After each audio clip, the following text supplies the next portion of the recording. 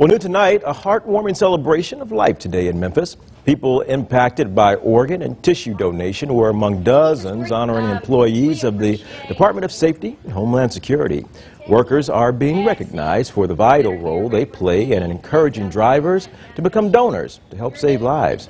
Today's event in Berclair is among dozens across the state.